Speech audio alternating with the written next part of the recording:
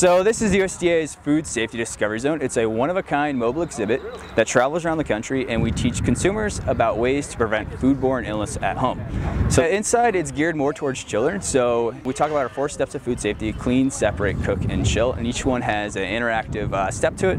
So the kids just absolutely love it. Um, for example, we've got uh, some hamburgers, uh, maybe the biggest hamburgers in Texas. And we show why it's important to always use a food thermometer when you cook your meats and everything like that. Food safety is important to everyone from the farmer to the mom, you know, preparing food at home. So it's a great opportunity and particularly to have the ability to expose, you know, young children to food safety and let them know that everyone plays a role in this process. Kids, I mean, wide eyes for sure whenever they see um, the lighting, the wheels, learning simple things, washing your hands, really sitting those points really in their mind so they really know always to wash their hands for 20 seconds, soap and warm water. So I think it's really great to expose these kids to food safety at a very young age and know that everyone plays a role. I mean, it's very simple things, starting from hand washing to cleaning your kitchen, and those are some of the things that are being shown in the, the bus today.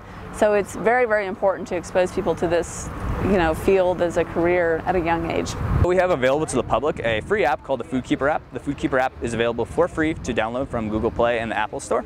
Basically, the Foodkeeper app lets you know um, about hundreds, different, hundreds of different foods and their storage times. So basically how long they're good for in your pantry, refrigerator, and freezer.